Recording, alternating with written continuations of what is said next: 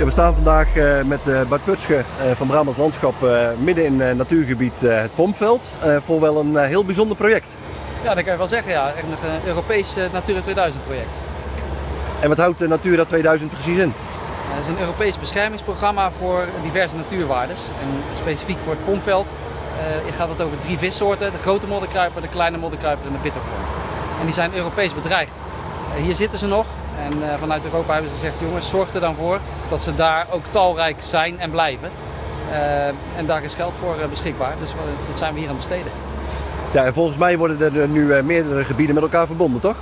Dat klopt. Het is een Natura 2000 gebied, Slot Loevestein, uh, Pompveld, Kornse Boezem. En vooral Pompveld, Kornse Boezem moeten we met elkaar verbonden worden. Want het zijn eigenlijk twee eilandjes, als het ware, voor die vissoorten. En die kunnen nu niet met elkaar, met elkaar communiceren. En daar gaan we voor zorgen dat dat wel gaat gebeuren. Ja, een groot project eh, zoals we wel kunnen zien. Er wordt nu, uh, nu druk gegraven. en wat voor activiteiten zijn er allemaal nodig om dat project te laten slagen? Nou, we staan vooral voor de uitbreiding van het leefgebied van de grote modderkruiper. En daar hebben we vooral sloten voor nodig, dicht, dichtgegroeide sloten. Uh, vandaar dat we hier ook bezig zijn om aan een bestaande sloot een natuurvriendelijke oever te graven. En uh, een plasdras situatie te creëren. Het water komt straks ook nog omhoog.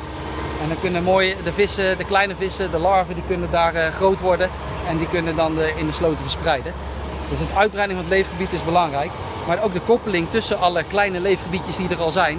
Dus vandaar dat we nu vanaf het pompveld uh, naar de waterberging die we twee jaar geleden hebben aangelegd ook aan het maken zijn.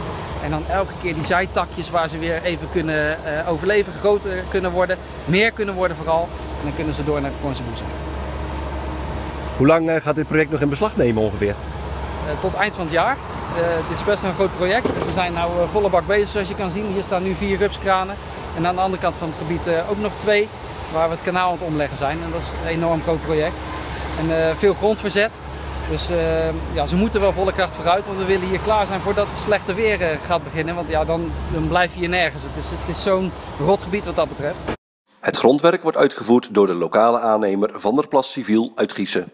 Of ze daar trots op zijn? Ja, zeker. Wij zijn daar heel trots op. Vooral in zo'n uh, uniek gebied waar we nu in zitten.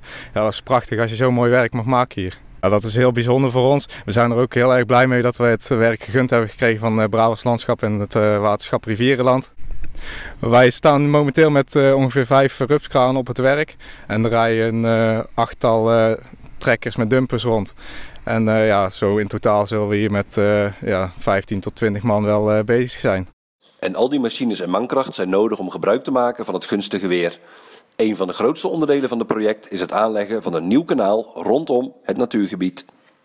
Het kanaal is ongeveer een breedte bovenaf van 16 meter, dus ja, dat is nogal gigantisch wat. Het kanaal die loopt, nou, loopt er een watergang uh, dwars door het projectgebied heen. Dwars door het natuurgebied. En die wordt nu eigenlijk om het natuurgebied heen gelegd. En dus die wordt aan de andere kant wordt die weer aangesloten.